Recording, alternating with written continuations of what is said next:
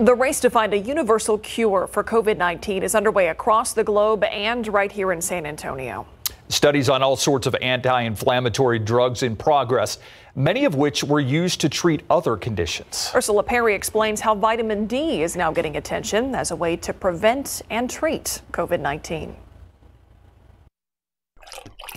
Vitamin D is vital in allowing your body to absorb calcium and strengthen bones. Vitamin D is certainly a, a, a, good thing if a physician recommends it. But how does it work when it comes to COVID? In a German trial of nearly 10,000 people, researchers found deaths from respiratory illness were three times higher for those with a vitamin D deficiency. At Northwestern University, researchers analyzed data from 10 countries and found patients with severe vitamin D deficiencies were twice as likely to suffer complications from COVID. But experts are cautioning that more research needs to be done and not to overdo it with vitamin D. It can have side effects. Too much vitamin D can be toxic and lead to heart and kidney problems.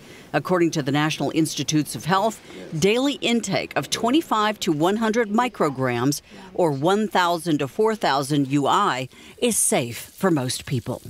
Two population groups most commonly affected by vitamin D deficiencies are African Americans and the elderly, the two groups also most impacted by COVID 19. Some experts will take it a step further, recommending a daily cocktail of vitamin D along with vitamin C, an antioxidant that boosts the immune system, as well as zinc, a mineral which some say not only reduces inflammation in the body, but also boosts immunity. You can get a good dose, a natural dose of all three by spending some time in the sunlight and changing the foods you eat. Ursula Pari, KSAT 12 News.